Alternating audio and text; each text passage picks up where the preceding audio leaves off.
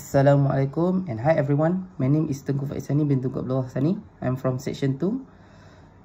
Uh, I'm being attend uh, Madam Specialty class in psychology and counselling. Okay, uh, I've been interested in one of the topic uh, Madam Specialty taught us is to be a good teacher. Uh, and to be a good teacher, there are certain characteristics that we are, have to uh, have in our personality. One of that, uh, mastering teaching skills. I've been interested in that in order to make my class have been a successful uh, learning session. Okay, uh, one of the uh, things that teacher must learn is classroom management. Most of teachers uh, take the classroom management lightly so that they on, uh, only do a chalk and talk in the class. Uh, like myself, uh, I'm the teacher that only do chalk and talk in the class before. Uh, I have been teaching and the student have been learn uh, listening to my class and then I've uh, give the activities and they solve the activity and then I go uh, outside of the class. I leave the class. But after I've been attend this class, uh, uh, I've been attend this psychology class, I've been learn how to manage the class well. I must learn on how to make the class enjoyable. Have to make sure the student participate well in my uh, session, class session, so that I uh, uh, learn the method in PAK 21 that focus more on the students so that they can participate and understand our subject well from before. When I've been doing chalk and talk only, I don't know.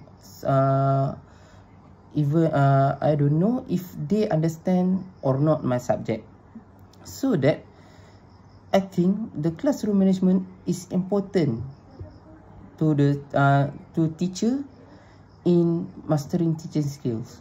And then the second one is to access prior knowledge. Uh, before, I think uh, in Mara, we did not have problem in this particular uh, characteristic because uh, Mara take us uh, because we are master in our subject, in our uh, courses. Uh, even though we did not have uh, diploma pendidikan DPP uh, that's why they take they take us and then they send us to uh, diploma pendidikan because they know we are master in our uh, subject well then more than the others. Okay. After i attend to the class i know that this is also important in order to make the student understand well what we have been teach in the class. Uh, if they ask the question, we can answer the question well because we are mastering in our class. Yes, right?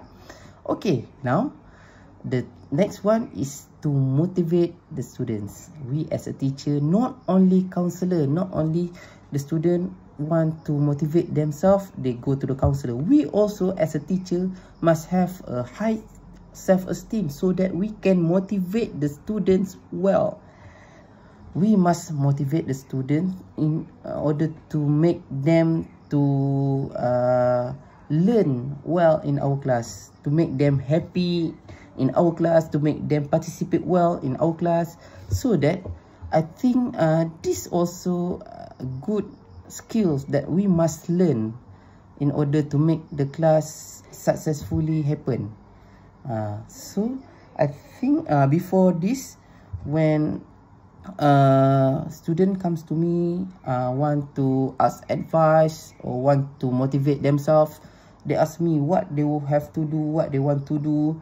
Uh, I uh, only give them the same advice without even realizing their background, their uh, of knowledge, their intelligence and so on. So, after I attend the class, I know that uh, Madam Shulati teach us about Piaget stage of age. Uh, on what age they have to uh, accept what kind of advice uh, they have to know what uh, their master or maybe their approaches uh, or a visual audio or kinesthetic so that they can understand well. So we as a teacher must know what their background what their uh, weaknesses what their strengths so that we can motivate them according to their background uh, so after i uh, learn this subject I can motivate my student well and they can accept my advice well and they can do better in their subject, in their class and also in their daily life. Okay, now to, to differentiate instruction. Before I, I've been in the class, I always give them uh, same in instruction, general instruction. But after I've I been in this class, I can differentiate the instruction. I've been given what they should do, what they want to do, and what they have to do, so that they can uh, solve the question, they can solve the problem well because they know what we want they do.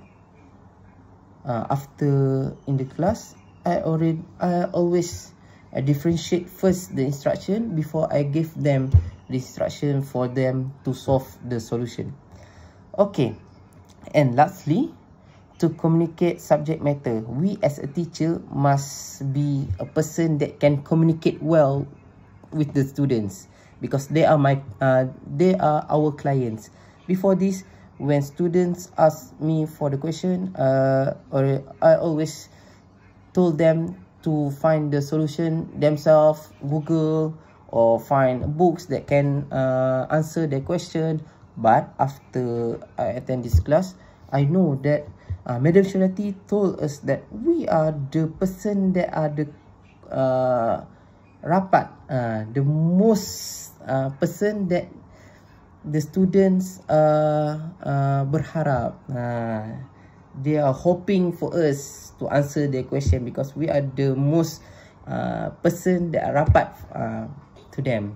So that after I've been learn this subject, I've been a good teacher, a better teacher, so that we can communicate well. Uh, my student did not uh, afraid to ask me a question and I can solve their so, uh, problem so that they can understand well our subject and they happily to learn from me. Alhamdulillah, after attending the class, I think I've been improving my teaching skills, uh, not only teach in the class, but also a better person to be a good role model to uh, my students. So that, I think my student uh, love to learn with me more than before. And uh, as a result, uh, I've, I've been seen that the student uh, show good improvement in their result from past uh, past uh, examination. They have been getting a good result. Uh, most of them get A's in their examination, even though the examination are hard. I think uh, I have to thank Madam Shilati for the subject, for the guidance to be a better teacher from before. And thank you for the guidance and have a nice day. Thank you. Assalamualaikum.